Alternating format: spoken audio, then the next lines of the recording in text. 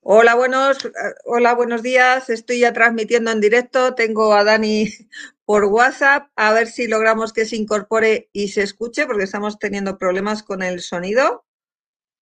Ya le he mandado la invitación. A ver si logro que, que entre y que se nos escuche.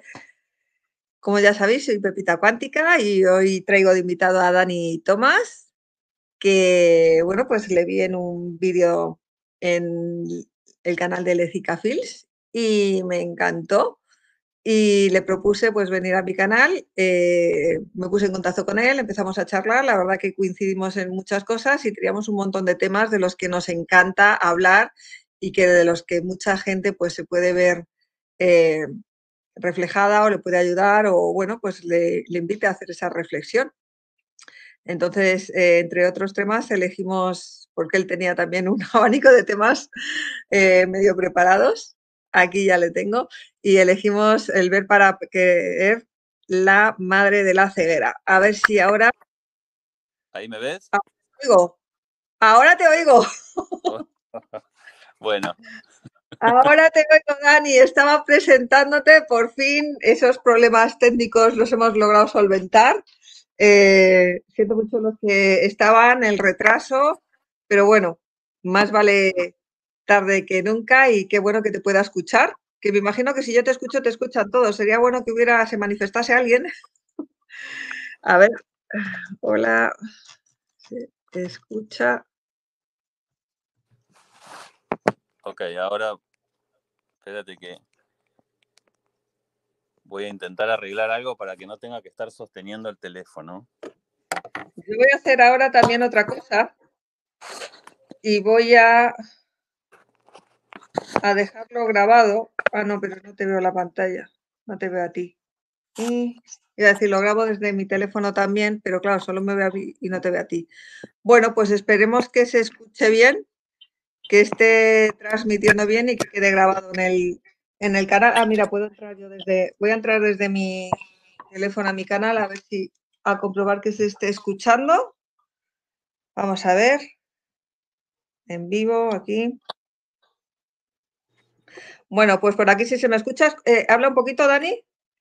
Hola, hola. ¿Sí me escuchan? Hola. Hola. ¿Sí me escuchas? Sí, se escucha. Comprobado. Comprobado, se escucha. Genial. Pues ya hemos solventado todo, Yupi, hemos recuperado la audición para el público y bueno, les estaba contando a Dani el cómo a través de, ese vídeo que yo vi en Jessica Fields, eh, José, me ha olvidado otra vez el título, hemos hablado de tantas cosas y vi tantos vídeos, era el, de... Profecías, la esclavitud del alma el de profecías, que me encantó porque digo, wow, este chico eh, es que coincido con todo, diciendo un montón de cosas, no se queda con un paradigma o con un locutor o siguiendo a alguien, sino que le gusta desgranarlo, al igual que, me gusta a mí. Y, bueno, pues mandé un mensaje, contestó enseguida, empezamos a charlar y fluyó bastante y tenemos un montón de temas previstos el de, el de superhéroes, ese a mí me encanta, lo, para la próxima. Y hoy venimos a hablar de la madre de y ver para creer esos paradigmas imperantes y de la capacidad que tiene del ser humano y de todos los sentidos que tiene. Eh, Dani es músico, es argentino, eh, ahora mismo está en, Los Ángeles y bueno, pues él también tiene una historia personal que le llegó a descubrir cierto potencial que tiene el ser humano, que le llevó a, darse cuenta de, que estaba enfocando mal su vida y cómo el cuerpo nos avisa y de que tenemos otros muchos más sentidos. Así que, Dani, cuéntanos un poquito eh, cómo llegaste aquí, de lo que nos tienes vía libre. Bueno, eh, cómo llegué primero a hacer un canal de YouTube y eso, ¿no? O sea, este, bueno, mi canal de, YouTube es una especie de terapia. Yo la verdad es que cada vez que siento que tengo algo para decir, me pongo a grabar, después lo subo y digo, bueno, que le llegue al que le tenga que llegar. la motivación de empezar un canal de YouTube empezó, digamos, en 2020, cuando pasó lo que pasó, marzo 2020, y las personas que veíamos algunas cosas que no cerraban, nos empezamos a, a juntar en grupos de WhatsApp y eso, y yo en un grupo de WhatsApp de vez en cuando mandaba audios de, mis observaciones o compartía algunas meditaciones o cosas para hacer. Y una chica del, grupo me, dijo, oye, es muy bueno lo que mandás, deberías filmarte y subirlo como video. Y ahí empezó el canal, ¿no? Un poquito. Este, después, bueno, sí, una de las tantas cosas que me pasaron eh, que un poco deconstruyen ese paradigma del ver para creer, este, fue eh, algo que me pasó en mi oído derecho, que yo empecé a tener problemas de oído y mm, que en realidad fueron como una pesadilla. Y en un momento esos problemas se hicieron extremos y llegué a perder, hubo un momento en el cual mi audición se fue por completo, yo estaba, estaba totalmente, llegué a estar totalmente sordo hubo un periodo de tiempo que escuchaba muy poco con el oído derecho y hubo un día particular que llegué a estar totalmente sordo. Y bueno, em, en ese momento la medicina no, no me ofrecía ninguna solución. Habíamos probado drogas, terapias y qué sé yo, y la parte mecánica de mi oído estaba perfecta. La habían revisado y, y la parte, digamos, del tímpano y todo eso estaba perfecta y el problema era los nervios que transmitían la información al cerebro, que, que para la medicina actual es un, es, ah, eso es irreversible. Cuando mueren esos, esos vasos sanguíneos que alimentan a esos nervios que transmiten la información, no hay manera. Eh, entonces, bueno, los médicos me habían dicho, no tenemos solución para vos.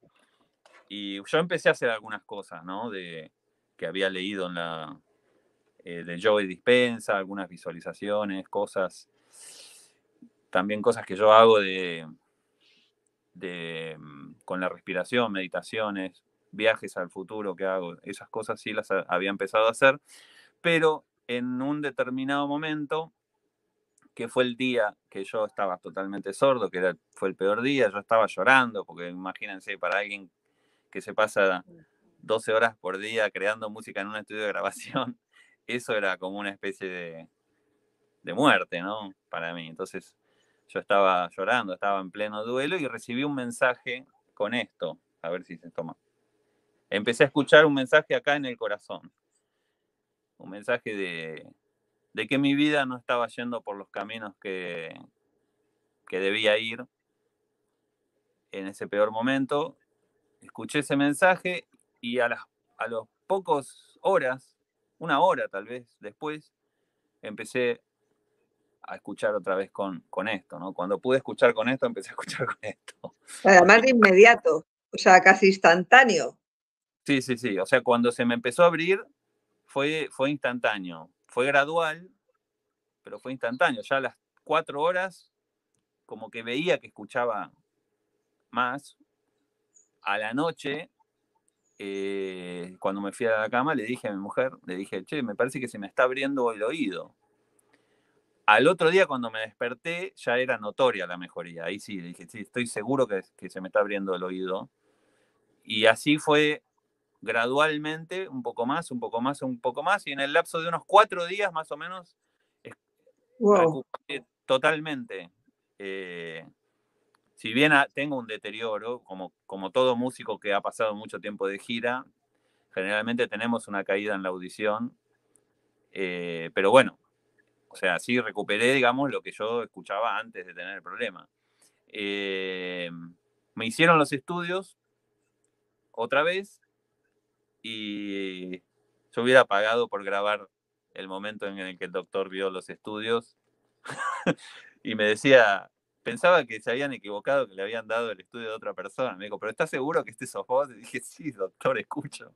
Entonces, eh, me dijo, nunca, nunca vi una... Es muy raro ver esto, me dijo, ¿no? Muy sincero el doctor y muy, y muy, muy bien estuvo, ¿no? Porque eh, yo le pregunté, doctor, ¿qué pasó? O sea, ¿cuál es la explicación? Y ahí me dijo, me dijo Dani, nosotros somos doctores, no conocemos todos los misterios de la vida y del universo. Solo somos doctores, me dijo, con mucha humildad, algo que no siempre desde la medicina se expresa con humildad, ¿no? Este, el otro día escuché a un doctor que él decía que es una profesión en la cual le como que le estimulan mucho el ego, ¿no? También les dicen que, ellos son imprescindibles, ¿no? Esto que ahora se está nombrando como esenciales. Este, y, bueno, así fue. Yo le, le, dije, pero entonces, ¿qué pasó? Y me dijo, así como riéndose, me dijo, mira, si yo te tengo que dar una explicación de acuerdo a la medicina, te diría, ahí te agarró un virus. Pero me lo dijo como riéndose y dándome a entender que... De todos, ¿no? Claro, pero en realidad estuvo, estuvo muy bien el doctor, porque me lo dijo desde la humildad, como diciéndome, mira, sí, ¿querés que te, querés que te invente una excusa? Te la invento, ¿no? este, y, bueno, esa, esa, fue una más de tantas pruebas, porque yo también eh, pude, tuve una regresión, o sea, no solo eso, yo eh, en, una, en, una, en una regresión, que en realidad no fue una terapia, porque yo no fui a hacer regresión con esa terapeuta, pero ella me había hecho un análisis, no sé si de la carta astral y todas esas cosas, y me dijo, me dijo, mira, se ve, se ve una, una influencia muy fuerte de, tu vida pasada, me dijo, es como que las dos vidas son una. Eso está muy, todo desarrollado en un video en mi canal. Pero para hacer la historia corta, eh, todo lo que yo dije en, e, en, esa, en esa regresión quedó grabado y semanas más tarde yo reconocí en una foto un lugar, un edificio, lo reconocí muy, este, digamos, que, sin lugar a dudas, ¿no? que, era, que era el lugar que yo había visto en la regresión, y me puse a investigar la foto y encontré absolutamente todo lo que yo dije, eh, todo, todo con lujo de detalles, no solo eso, eh, digamos que encontré que, esta persona que existió hace, hace unos 100 años más o menos, este, coincidían muchísimas cosas con mi vida, o sea, toda la numerología de todo era exactamente igual a la mía, la numerología de los tres nombres juntos, la numerología de cada uno de los tres nombres por separado, la numerología de la fecha de nacimiento, todo eso era exactamente igual a la mía, el nombre de su madre era igual al nombre de mi madre, la profesión de su padre era igual a la profesión de mi, de mi padre, muchas cosas de mi vida estaban relacionadas y estaban justificadas. O sea, algo que, digamos que si uno lo quiere justificar con la coincidencia, ya uno se tiene que poner un poco a negar, ¿no? y, yo, no me yo no me puedo negar ya, eh, digamos, toda la evidencia que es todas esas coincidencias, es, es información que yo no, no, la puedo negar. Me sería más fácil negármelo, ¿no? Porque también eso me hizo tirar abajo toda, toda mi identidad. O sea, ahí, ahí es donde yo tal vez tuve ese... Ese, es el, trabajón por el que entiendo que mucha gente se niegue porque una vez que abres toda la percepción, te entiendes que, wow, somos mucho más y ves todas las posibilidades, como decían aquel superhéroe, el un gran poder implica una gran responsabilidad y estás tomando decisiones constantemente. Y es más cómodo que otro tome la decisión por ti para que luego si sale mal poder quejarte. Totalmente. Fíjate que a mí, a mí me tomó unos seis meses. O sea, cuando yo vi toda esa información y se me presentó así, fue un shock tan grande que estuve como seis meses con una especie de crisis de identidad y ahí, bueno, lo que comúnmente se llama del alma, ¿no? Tuve que tratar que todo, todo ese, ese proceso, que yo pienso que es también la razón por la cual mucha gente se aferra a ese paradigma del, ver para creer y, de, ese, de todo ese paradigma materialista o de ese paradigma que conforma su personalidad, porque es muy difícil. Es como una demolición, es como un terremoto. Y, y yo pienso que en un nivel, en un nivel superior, tu, tu yo superior está cuidando, ¿no? Cuando es el momento preciso para que vos transites ese momento, ¿no? El, el- entonces ahí está, está la, la dualidad, ¿no? De, de, ese, de aferrarse al paradigma de, de- del ver para creer, ¿no? Del materialismo, de, de si no lo veo, no lo creo. Y también porque hay, hay todo un sistema de control Ah, diseñado para, para sostener ese paradigma, ¿no? O sea, hay toda una, una estructura que nos bombardea, que nos vienen bombardeando desde hace miles de años para tenernos sometidos a, a- a ese paradigma. O sea, no es casualidad. Que, hay una frase que, que oí que me encanta. No hay nada en esta sociedad que te haga recordar que eres un ser eterno.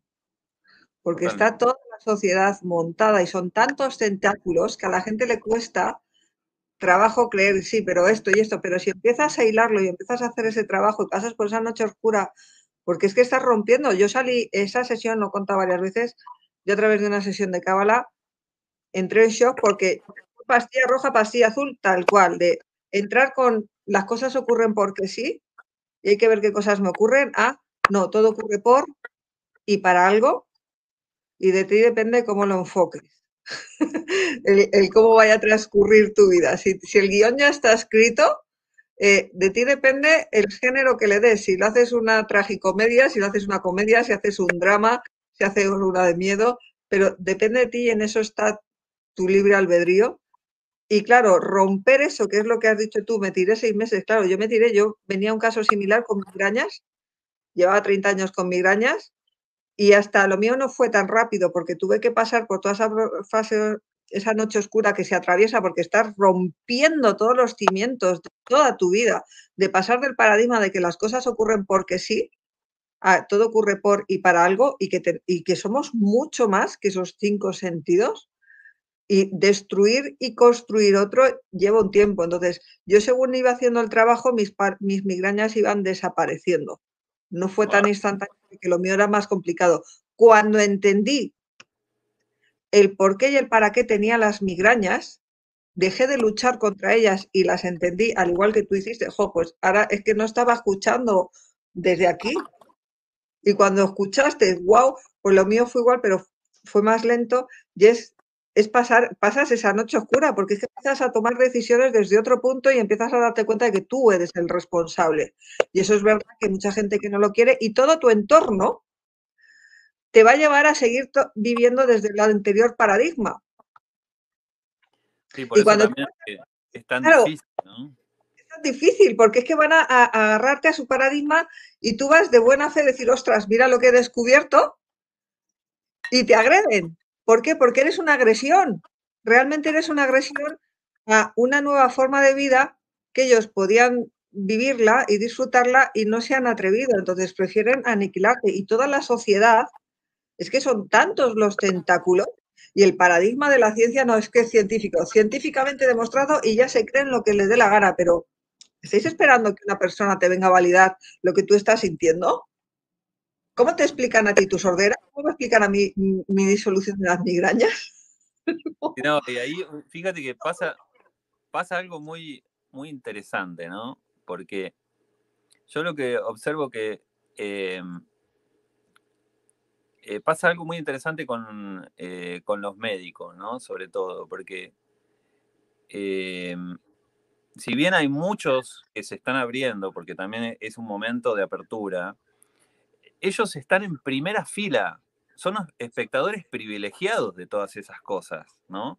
De, gente que se cura de, dolencias que son irreversibles, curaciones que son milagrosas, o sea, o también de experiencias cercanas a la muerte, donde la gente que vuelve este, les, describe con lujo de detalles la conversación que tuvieron con el enfermero mientras estaban yendo, o incluso la conversación que tuvieron en otra sala. O sea, ellos muchas veces son espectadores en primera fila, privilegiados de todas estas cosas, ¿no? Pero de alguna manera les aterra eh, investigar. Entonces, hoy muchos ignoran, muchos eh, aceptan, pero, les, pero, pero se, lo, se, quedan, se quedan ahí, o sea, no indagan. Y muchos, bueno, dicen, no, bueno, porque esto es, es una casualidad o es un caso entre un millón que no lo podemos explicar, entonces como es uno en un millón, lo dejamos ahí.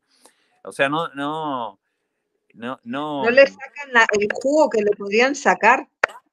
Qué triste.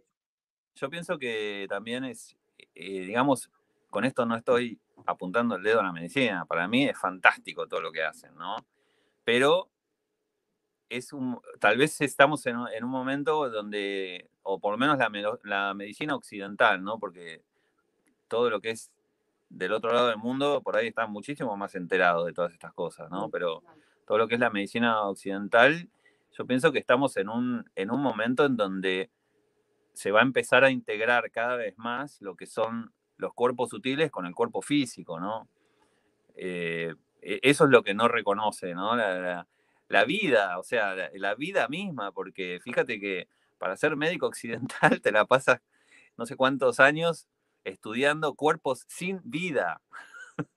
o sea, te este, salva, salvan, salvan vidas y lo que estudian son los cadáveres, ¿no? es medio ridículo si uno lo ve desde... Yo, yo, generalmente siempre observo, las, observo todo desde, desde un paradigma en donde las cosas como están así, en el, en el, paradigma, digamos, de control, se ven bastante ridículas. Si uno se saca los programas, ¿no? Empieza, empieza a ver que, que el paradigma es bastante ridículo, ¿no? Porque como estos tipos o sea, salvan vidas y lo que estudiando cuerpos sin vida. O sea, tienen que pensar un poco. A mí me parece que estamos en un momento en donde, en donde cada vez más están, están estudiando eh, de dónde provienen las dolencias, que generalmente provienen, provienen del cuerpo emocional, del cuerpo mental, o sea, y después se, manifiestan en el cuerpo físico, ¿no? Este, y también con el, el paradigma del ver para, para creer, que es fíjate qué interesante, si no lo veo, no lo creo, ¿no? así es como te dicen generalmente, no, yo si no lo veo, no lo creo. Presumen, o sea, lo triste es que estas personas presumen no, si yo no lo veo, no lo creo. Perdona, si eso es muy fácil engañarlo, los cinco sentidos, con un jueguito de marca y borras. O pregúntale a un, un, cirujano mm, de los del cerebro, si ha visto alguna idea alguna vez cuando ha abierto un, cadáver, ha visto el cerebro, ¿has visto alguna idea? No, entonces no te crees que existan las ideas. O el, eh, el, cardiólogo, cuando abre un corazón, ¿dónde está el amor hacia sus hijos? ¿Lo has visto? No, entonces no existe. es que el, planteamiento es ridículo. es una manera muy, muy, muy buena y práctica de explicarlo. Yo, yo lo, que, lo que observo, que el paradigma de si no lo veo, no lo creo, es un paradigma de alguien que es espectador, es un espectador de su vida, de su existencia, y a lo único que se limita es a reaccionar a lo que observa, que son todas cosas que otras, otras entidades crean, porque también ahí es como está armado esta granja, ¿no? humana, a, esas entidades que te dicen que, que solamente creas en lo que ves, están todo el tiempo creando situaciones que provocan una reacción de la cual ellos... Para que tú la crees y ellos se aprovechen. Claro. O sea, ellos sí que conocen tu poder creador. O sea, todas estas entidades conocen tu poder creador y lo utilizan a su favor y tú vives ignorante, la mayoría de la gente vive ignorante, es como cuando lanzan una noticia, eh, la gente se lo cree y lo crea. O sea, esas personas, esas entidades nos están ya manipulando y están usando el poder creador de los seres humanos. Y los seres humanos, la mayoría viven ignorantes. Sí, sí, si uno, si uno observa, eh, es como que uno observa todo lo que crean, ¿no? Todo lo que crean para que uno esté viendo, ¿no? Ver para creer, está todo diseñado para generar cierto tipo de reacciones, ¿no? Absolutamente todo. Entonces, porque es siempre lo mismo, siempre generan es como, e, es un sistema de, granja, digamos, ¿no? Porque te estoy estimulando todo el tiempo. Primero te digo que, vos no, no puedes crear nada, entonces estás atado a lo que yo creo. Y lo que yo creo está estimulándote para que vos me des una, una reacción, ¿no? Que generalmente es una reacción de baja vibración, de miedo, de culpa, de, digamos, basta con, con ponerse un poco a ver las películas las películas hechas para la masa, ¿no? Que son todas violentas, o, o los noticieros, que es todo lo mismo, ¿no? Pareciera ser que la comida que preparan siempre es lo mismo, es destrucción, muerte, em, crisis, esa les encanta, crisis, y todo, a todo le echan, le echan sangre, ¿no? Si es posible humana. y, sí. y yo lo que, también con esto de si no lo veo, no lo creo. Está muy bien. Si vos sos un espectador y te reconoces como espectador, perfecto. Ahora, si tú eres un creador, ahí el paradigma se da vuelta. Es al revés, exactamente al revés. Si no lo creo, no lo veo. Si tú eres creador. Si, nunca vas a ver algo si no lo creas antes, si tú eres creador de tu existencia. Entonces, ahí es donde, donde ellos te quieren mantener en el paradigma de espectador reaccionando y no de creador de tu realidad, ¿no? Porque ahí es donde, porque fíjate que en realidad el arte, como yo soy, yo soy artista, no funciona con el paradigma de si no lo creo, no lo veo. Yo para ver algo que, creo, primero tengo que, lo tengo que crear. Y antes de crearlo, tengo que creer que es posible crearlo. Entonces, ahí es donde todos nosotros, si nos reconocemos como creadores de lo que pasa en nuestra vida, primero tienes que crearlo, primero tienes que creer y luego tienes que crear. Inclusive hasta los, los grandes descubrimientos, inclusive de científicos, generalmente todos desafiaban las reglas, las leyes de la, de la, de la ciencia del momento, porque siempre nacieron de una intuición de alguien que creyó que era posible otra cosa. ¿No? Entonces, inclusive para la ciencia funciona de otra manera. Incluso también al revés, hay gente que ha logrado cosas que eran increíbles porque no sabían que eran increíbles. Eh, se me quedó, tengo un amigo que es muy, eh, eh, le gustaba mucho los, cinco argentinos estos que tuvieron esa tragedia que se el avión se desplomó en los Andes en pleno invierno. Sí, eran, uruguayos, de Uruguay eran. Sí, y estos con ropa de verano lograron atravesar todas las, las cordilleras sin ir equipados, sin, con ropa de verano, porque no sabían que era imposible no sabían la distancia que había y no sabía que era imposible y por eso lo hicieron. Una de las conferencias uno decía, lo hicimos porque no sabíamos que era imposible hacerlo. Fijaros la importancia de las creencias limitantes o no, o a veces de la ignorancia, que nos viene muy bien en no saber que eso es imposible hacerlo. Y lo hicieron. ¡Wow!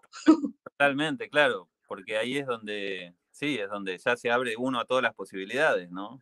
uno desaprender, ¿no? Bueno, yo creo que yo estoy en, un proceso, en un proceso de, desaprender y desprogramar. Y cada vez que encuentro un, hechizo, hago un video y lo subo. El otro día hice un video sobre el dinero, que para mí es un hechizo también, ¿no? Creer que el dinero tiene Aquí. Cuéntanos, eh, hechizo, ¿qué es para ti un hechizo? Que esto es importante también. Porque la gente habla de hechizos, vale. ¿Qué consideras tú en hechizo? Por ejemplo, yo he escuchado este del hechizo del dinero. Cuéntanos qué es para ti un hechizo. Define hechizo. Bueno, un hechizo es cuando yo pienso que casi todos los personajes que aparecen en la televisión son, son hechiceros, son ilusionistas, en donde yo te hago creer que una, o sea, que una realidad es válida para ti con un montón de trucos e ilusionismo. y entonces ahí ya tú te meto en esa realidad y, es, y eso pasa, pasa a ser parte de, tu realidad. Y, ahí Caes en el influjo, cae, cae, en el influjo de, esa hechicería, de esa palabrería, de esos. y ahí te manejo. Ahí soy el dueño de tu vida. O sea, es. Eh, yo, yo, bueno, otro de los videos que hice es miedo real o miedo imaginario. Y quien está todo el tiempo generando miedos imaginarios, miedos de cosas que tú nunca percibes a través de tus cinco sentidos, simplemente te las imaginas porque yo te instruyo con una narrativa de que ahí hay un peligro para ti y, de, eso saco partido, ¿no? Entonces te estoy hechizando, te estoy... Digo, quien, quien maneja tus miedos imaginarios es el dueño de tu vida, ¿no? Y ahí es, ahí es donde, por ejemplo, es la diferencia entre el miedo real y el miedo imaginario. El miedo real vive en el presente, el miedo imaginario nunca vive en el presente. Siempre es, es, un, es algo que, yo te digo que te va a ocurrir si no haces lo que yo digo, si no me compras lo que yo te vendo.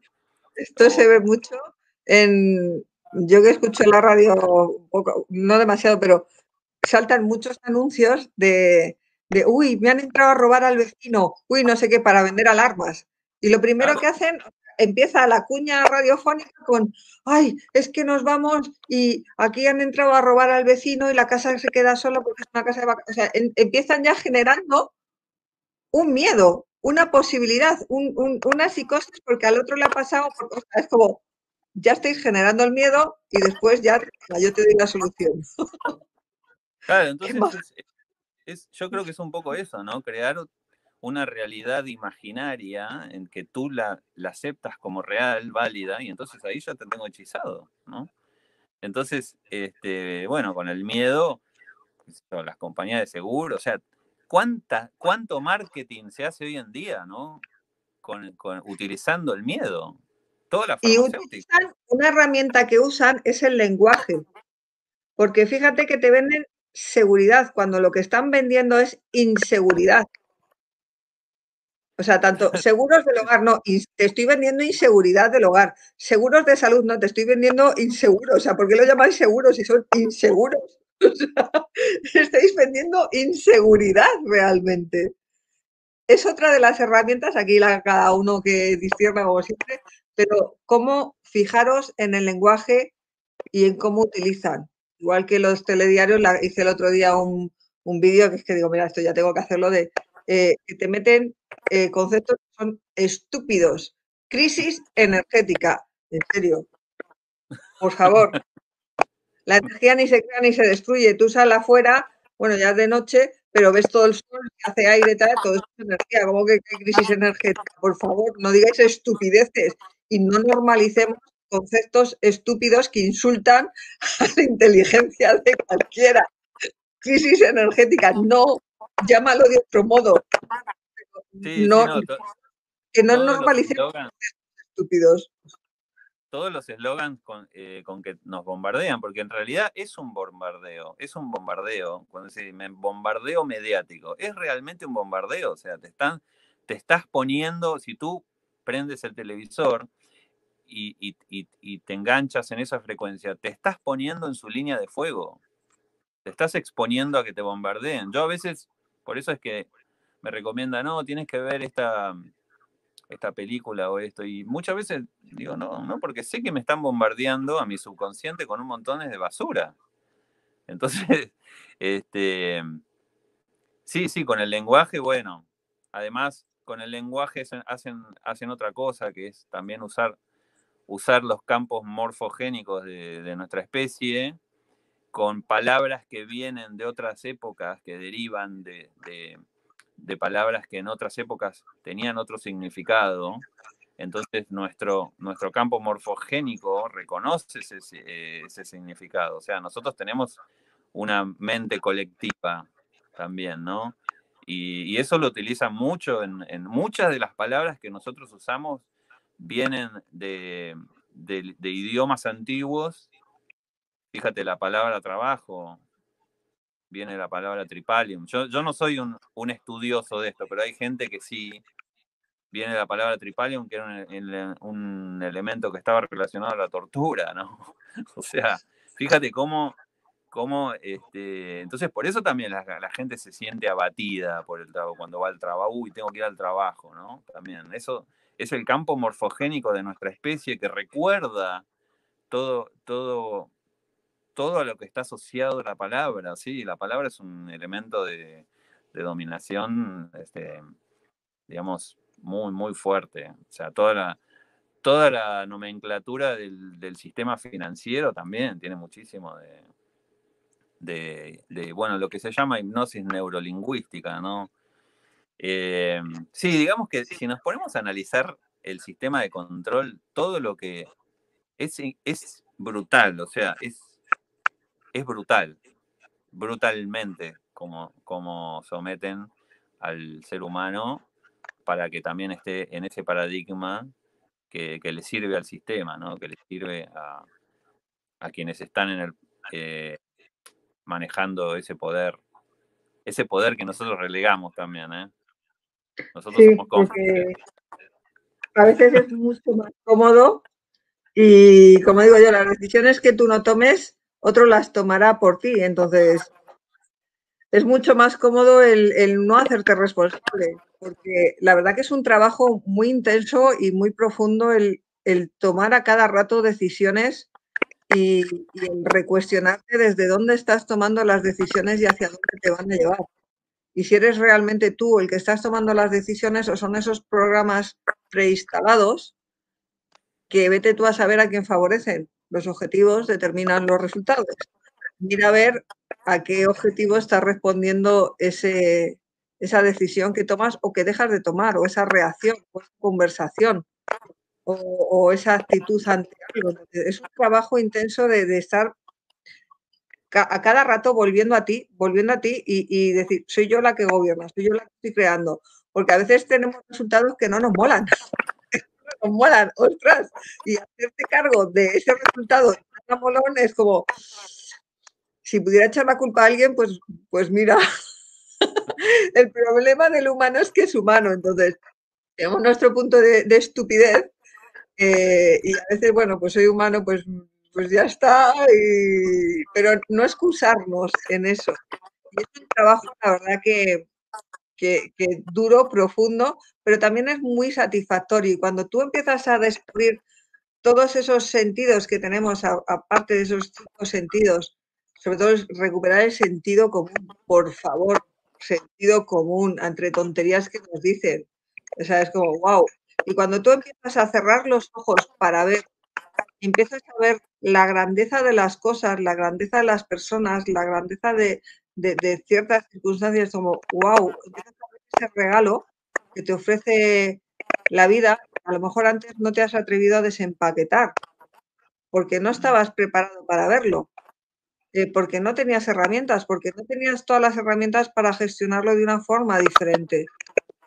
Entonces, el ir más allá, el, el me tapo los, los oídos y los ojos para ver a alguien, wow, no todo el mundo está preparado. Se quedan, como decimos en la clipot, que es en la cáscara, y el, cubo solo se rompe desde dentro, no puedes romperlo desde fuera. Entonces, romper eso y romper todo este sistema en el que nos tienen adoctrinados, en el que somos unas pilas, en el que dejas de ser un, muñequito más y empezar a, ser gobernante de ti y dejar de, de echar balones fuera de culpar a tu malestar, tu salud. Fijaros la importancia de la salud, nos hacen creer que es una lotería.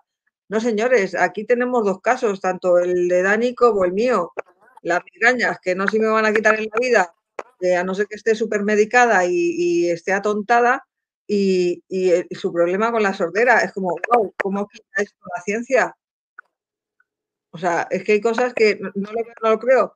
Y cuando yo he llegado, por ejemplo, en otras ocasiones eh, me acuerdo con la ginecóloga, que, bueno, pues yo tuve contacto con el virus del papiloma humano y me vino la menopausia y tal, y me medicaba y dije, no. Y cuando volví a la revisión, que ya no tenía nada, yo me había cuidado con la alimentación y los síntomas de la menopausia los había cuidado pues, pues cambiando la alimentación y tal.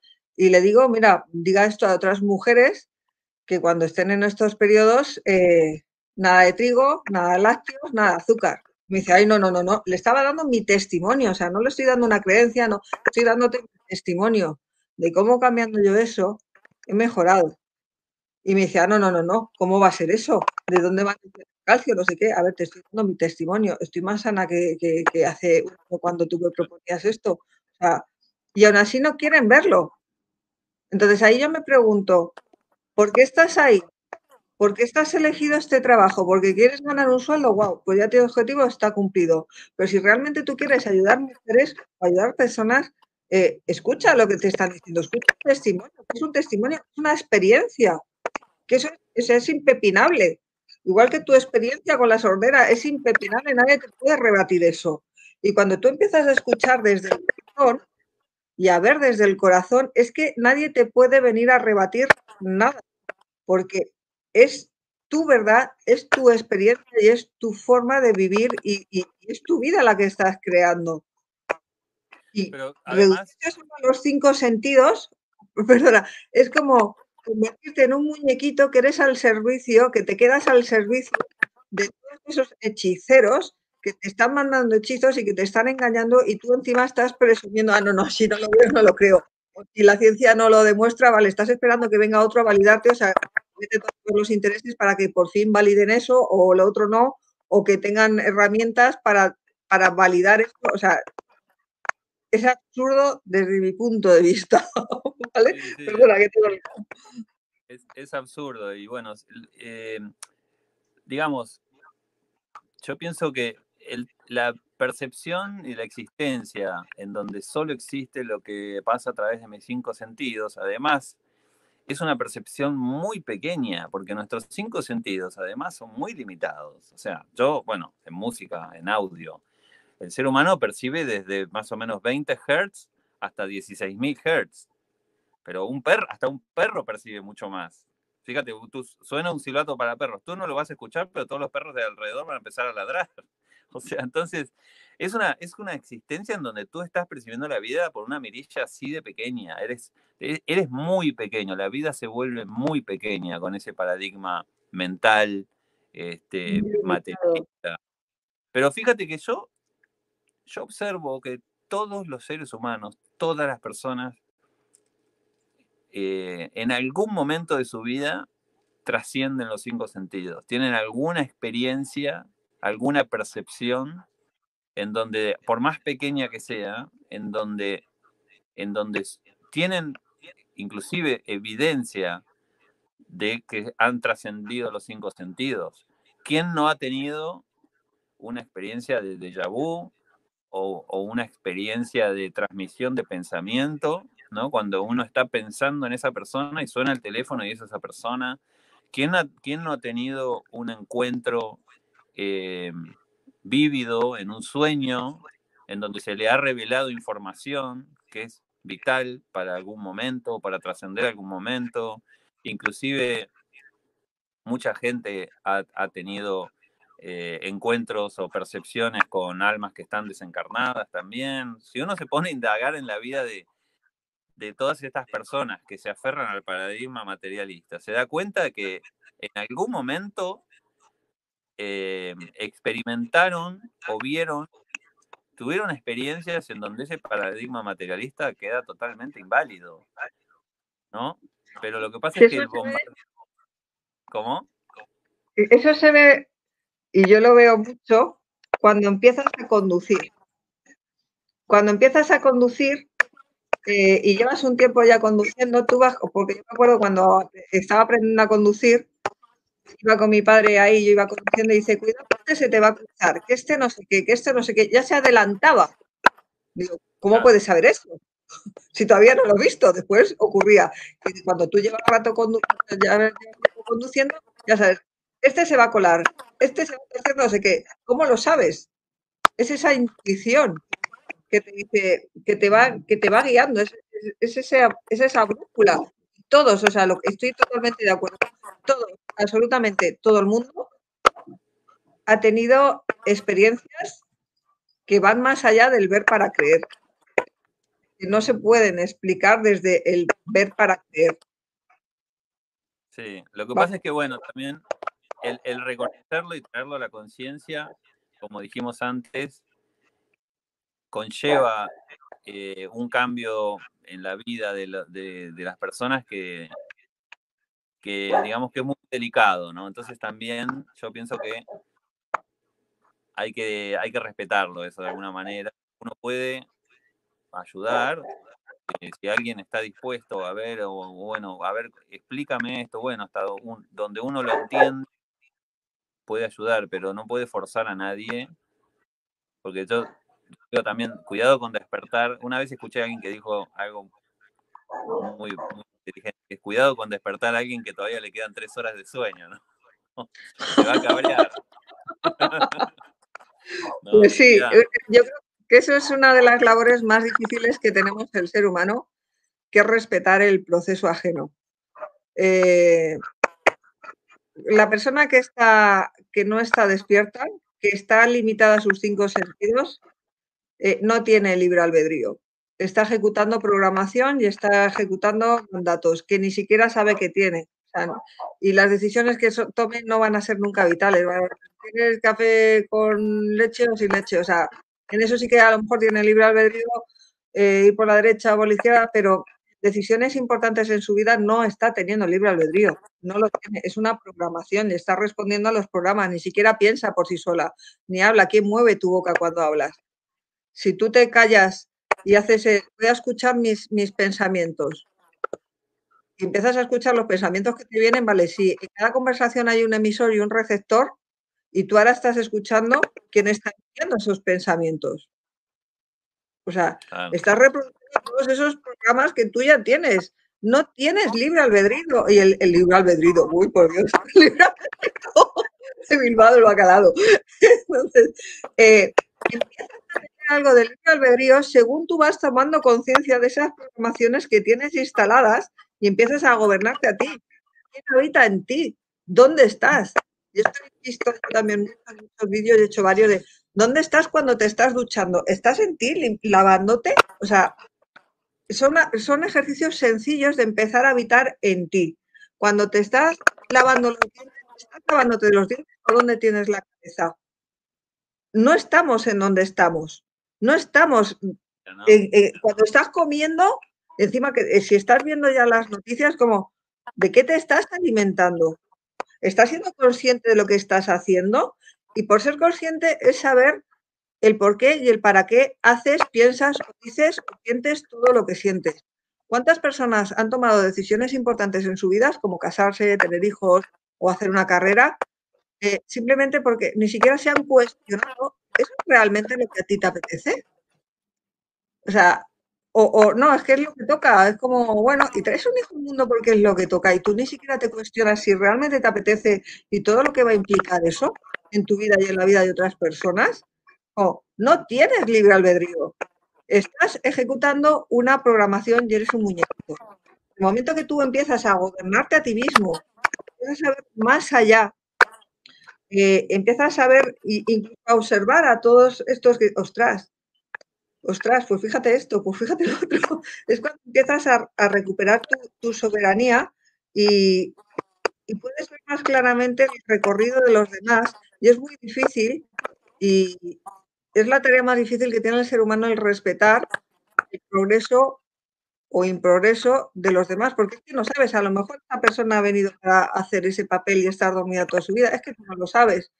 Y es muy difícil cuando es un ser querido que tú ves que va al, caminito al abismo, el, no interceptarlo, pero es que no puedes hacer otra cosa, porque si no es que es como meterte en una pelea de borrachos, llevas tú el botellazo.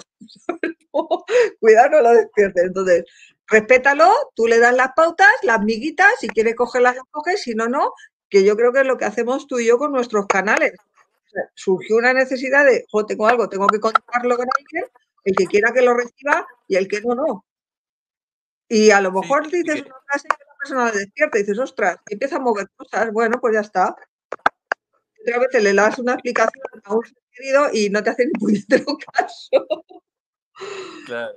Lo que, lo que sucede, lo que yo, bueno, observo también en mí, que sucede que cuando tú empiezas a salirte un poco de ese paradigma, o empiezas, a deconstruir em, el estar atado al, al paradigma de, del control y, bueno, de materialismo y todo eso, ya te empieza a ser cada vez más difícil interactuar en tu vida con, con, el mundo que te rodea. Ese es un momento muy difícil también, ¿no? Mm. Generalmente cuando, cuando se produce un, el llamado despertar, ¿no? Que yo no soy muy amigo de ese, de ese término. Para mí nadie está ni totalmente despierto ni totalmente dormido. Es como una gran gama de, de colores, de grises, ¿no? Que, que, uno va transitando, ¿no? Pero bueno, es un momento difícil y, uno creo que pasa por un momento de, euforia y de querer compartirlo con todo el mundo y lo que tú dices, ¿no? Ves, ves a todos los demás que, van, que están en, un abismo y, y, bueno, hay que aprender también a transitar eso, ¿no? A, aprender a, callarse, ¿no? Y es, que es muy difícil también, es muy difícil interactuar. Ya a mí me resultaba, por ejemplo, e, e, estar, me resultaba muy difícil seguir en el grupo de los amigos del colegio, ¿no? Porque veía que, que nadie me entendía, que inclusive se reían de mí cuando yo les decía cosas. Y tampoco es que decía mucho, ¿eh? Pero, pero por más que tiraba una pequeña cosita, me, era, me era muy difícil, me terminé yendo de ese grupo. Este, y, y, bueno, mi mejor amigo se enojó porque me decía, no, pero que imagínate, tú estás viviendo del otro lado del mundo, si te vas del grupo se corta el vínculo. No, no se va a cortar el vínculo. Y bueno, en una visita fui a comer con él y estuvimos ahí contándonos todas las cosas que yo estaba haciendo nuevas. Y cuando terminó la comida le dije, dije, oye, ¿tú cómo piensas que el grupo va a recibir si yo, te, si yo le cuento, si yo hablo todo esto que hablé contigo con el grupo? Y me dijo, no, se te reirían en la cara. Una de las estrategias, la ridiculación. ahí como que entendió, ¿no? Dice, bueno, este, yo voy a interactuar desde otro lugar, ¿no? Desde ese grupo de WhatsApp en donde ustedes se juntan a hablar de, su realidad. Y eso es, es, algo muy difícil. Yo todavía no estoy preparado para, para interactuar, eh, no sé, por ahí como otros grandes maestros, que ellos tal vez sí, o otras personas sí están preparados para estar y adaptarse y hablarle en el idioma, ¿no? De, esa gente y, aparte disfrutar la, interacción, ¿no? Por ahí es, eso es lo más difícil, ¿no? Cuando uno se da cuenta que todo eso es mentira, es, un, no es fácil, ¿no? Por eso es que, es que pienso que tal vez ese es nuestro aprendizaje del momento, ¿no? Interactuar este, estar... hay que, pillarlos, hay que pillarlos en aislado, porque en grupo es muy difícil. Eh, esto no sé con quién lo comentaba el otro día. Eh, yo he sido militar y estaba en un cuerpo de esos y una, una, una asignatura que teníamos era control de masas, ¿vale? Cómo se controla la masa. Y se me quedó muy grabado porque es que después, es que lo vi, eh, que la inteligencia cuando están en manada, cuando estamos en grupo, me, me incluyo, ¿eh? Cuando estamos sin grupo, puede haber tíos más inteligentes, más tontos, eh, que tengan carreras, pero que tal, que, no tiene carrera, pero es inteligente y te hace un reloj con tres cosas. La inteligencia se iguala por lo más bajo. El más inteligente te va a hacer la pregunta tonta, porque cuando estamos en masa, la inteligencia se iguala a lo bajo ha pasado porque me he dado cuenta que estoy en grupo y hago la misma pregunta estúpida que la, más tonta de todas las tontas. Yo. Como, eh, entonces, es muy difícil el abordar a una masa así. Pero si tú como a tu amigo le, le, pillas por, pues sí que puedes entrar en su razonamiento y ir buscando todos esos flecos, que son muchos, y diciendo, pues no ves que por aquí empiezas desde su nivel y ya tal. Pero en grupos es, es, difícil y es como, como he dicho antes, meterte en una pelea de borrachos, te llevas el botellazo. Porque además una de las estrategias que, que, nos han enseñado y con las que nos manipulan es la ridiculización, o sea, que te vayan a ridiculizar.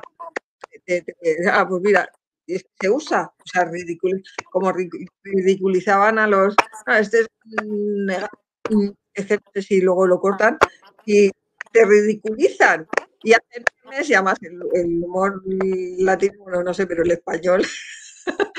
Entonces, es una de las cosas mejor no meterse ahí. O sea, yo ahí propongo no meterse y te vas dando cuenta, porque a mí también me ha pasado, que vas saliendo de ciertos grupos y dices, ¿para qué? O sea, es que yo no quiero colaborar en esto que esta gente está creando. Yo no quiero pertenecer a ese mundo y no voy a formar parte de esto que están hablando que, que no estoy de acuerdo. Entonces me salgo porque a mí también me pasó de, salir de, grupos con las que llevaba años y es, es que no, es que no, no comparto eso que estáis diciendo, no me apetece verlo y ya está. Pues si alguien de mí, que me siga por redes, que me mande un WhatsApp, pero no me apetece seguir colaborando y seguir perteneciendo a ese tipo de grupos. Y nos trabajamos mucho el desapego. lo tenemos ya y lo que nos queda. Así que. Es interesante eso, ¿no? De que del grupo. Yo jamás me lo había planteado de que, de que la, como que el nivel de la mente se iguala para abajo, ¿no? Pero sí, es algo que... Eso, de que una cadena es tan como el escalabón más débil, pero en cualquier grupo, y lo veo también mucho en grupos de entrenamiento, o sea, se forma un grupo y tal, eh, se, se, tienden a igualar por lo bajo. O sea, a partir de ahora te vas a dar cuenta y lo vas a observar que cuando hay un grupo de gente, se van a igualar siempre por lo bajo. Porque por eso yo creo que también siempre está en el sistema de control de, que pierdas la individualidad y, de, que, de agruparte, ¿no? Dividir, siempre están dividiendo en dos grupos que se, que se opongan y están generando están generando el enfrentamiento, ¿no? Sí, sí, es, una herramienta. vaya la energía ahí en el enfrentamiento en lugar de cooperar o sea, el divide y vencerás es una de las estrategias que y nos han fragmentado, porque nosotros mismos nos han fragmentado, porque la gente todavía no, no, se cree que tal como tú te alimentes, eh, va a repercutir en tu estado mental, en tu estado económico. Son como si fueran áreas fragmentadas, nos fragmentan. Entonces, no, no, la alimentación, esto es el cuerpo, este es el área económico, esta es la red del trabajo, este es el área de la familia, este es el de la pareja. No, no, perdona, todo se retroalimenta y tú, y tú varías un área y tienes conexión contigo mismo, es buena comunicación, eh, se va a repercutir. Entonces, fíjate la fragmentación que hacen, el divide y vencerás, es que lo han llevado para manipular y para que estemos siempre en lucha. la violencia machista, ¿qué violencia? La violencia, violencia, el feminismo, o sea, perdona, ¿qué, cosas decís? O sea, de verdad es que tiene unos conceptos que a nada que te pares dices, es que no tiene sentido ninguno. O sea, por favor, el sentido común, digo a él que paremos el sentido común y el, unificarnos y el aprovechar las diferencias que hay con el otro, en no pelearnos, en el, el enriquecernos. Pues este tiene una forma de ver bueno, pues a lo mejor tengo algo que aprender, ¿o no? Así que, bueno, tenemos que ir terminando ya. Y no sé si por decir, revisa la chuleta que te habías puesto ahí, revísala, no sé si te queda algo por, añadir, por decir. Te me has quedado este paralizado, ahora sí. ¿Cómo? Nada, que pensaba que te me habías quedado paralizado. Ah, este, pues un poco, no sé si, podemos aportar algo, es empezar, como tú dijiste, ¿no? Empezar a, tal vez a ver con esto, ver con los ojos cerrados y escuchar con esto, ¿no?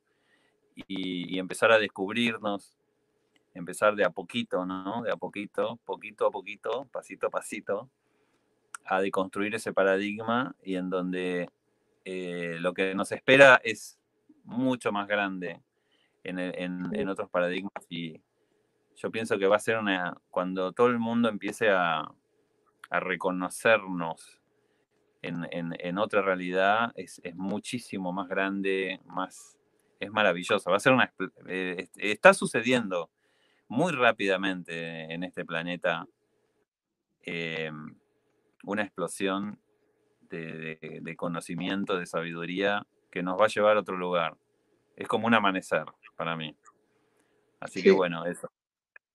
Y lo más bonito a veces es eh, lo que dice, lo que se escucha sin palabras. Más bonito muchas veces y hay mucha más información en los silencios y entre líneas. También. Así que muchísimas gracias, Dani. Nos queda pendiente el, tema de superhéroes, ese me encantó. Sé que tienes calma para rato.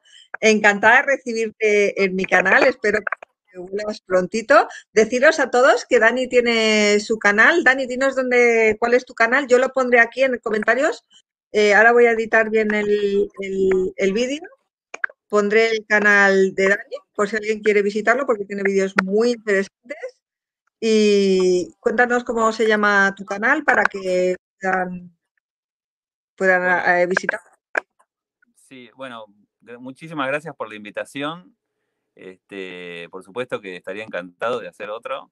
Y bueno, este canal donde yo comparto las reflexiones, que, que bueno, se llama Dani Thomas Life, Dani con una sola N, Y y Thomas sin H, Life. Y bueno, el nombre de mi canal es Aprendiz de Ser Humano. O sea, yo soy un aprendiz, no soy maestro de nadie ni de nada. Este, pero bueno, comparto lo que voy aprendiendo y lo que voy observando y una de las cosas que, que, me dedico es a, digamos, de construir paradigmas este, de, los, de los viejos. Genial. Pues tengo que cerrando que ahora la presentación de, de Gili Muchas gracias a todos. Como siempre, si os ha gustado, darle like, compartir, eh, suscribiros al canal. Cualquier vídeo que veáis, darle un like, compartirlo, poner algún comentario gratificante, porque eso va a hacer que llegue a más personas, que el algoritmo lo mueva más y que si a ti te ha ayudado, seguramente hay otra persona que alguna de las frases pues le enganche y le haga un cambio en su vida, grande, pequeño, pero es un pasito. Entonces, por favor, dar like, suscribiros a los canales, tanto de este vídeo como de cualquier otro. Y muchas gracias a todos. Feliz noche, feliz día, que ahí son las diez y pico, las once ya de la mañana, ¿no? Los Ángeles. Acá son las 11.43. Bueno, pues cuelgo que, que, aquí son las 20.44 y en 10 minutos empezó el Hoy estoy que, que no paro, dándolo todo. Estéis felices y divertiros, que la vida es un juego para experimentar, para divertirse y no tomárnoslo tan en serio. Estate, empieza a coger ejercicios de cuando estés en la ducha, estás duchando. Cuando estás comiendo, estás comiendo. Y ya solo con eso te va a empezar a mover cosas. Así que, besitos. Hasta luego. Adiós.